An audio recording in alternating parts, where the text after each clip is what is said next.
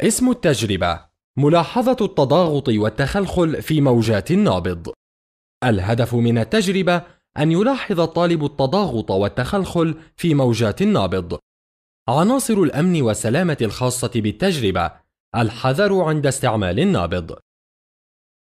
أدوات التجربة نابض لولبي خطوات إجراء التجربة. نشد النابض اللولبي على ألا نبالغ في ذلك. نثبت أحد طرفي النابض. نحرك الطرف الحر من النابض جانبيا لتوليد موجات فيه. نراقب الموجات خلال انتقالها في النابض. إلى أن تصل إلى الطرف المثبت فنلاحظ تكون أماكن تضاغط وتخلخل في النابض. نولد موجات في النابض بضغط عدة لفات عند أحد طرفيه ثم نتركها. فنلاحظ انتقالها خلال النابض.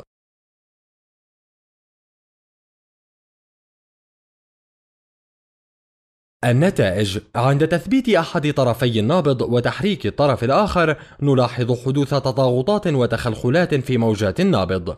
عند توليد موجات أكبر في النابض تكون سعة الموجة الطويلة أكبر فنلاحظ أن التضاغطات تكون أكثر تقاربا والتخلخلات أكثر تباعدا عن بعضها بعضا وتختلف بذلك عن الموجة الطويلة قليلة السعة فاقتراب الحلقات في النابض من بعضها بعضا يسبب زيادة في تباعد الحلقات المجاورة حيث تعتمد سعة الموجة الطويلة على كثافة المادة في موقعي التضاغط والتخلخل.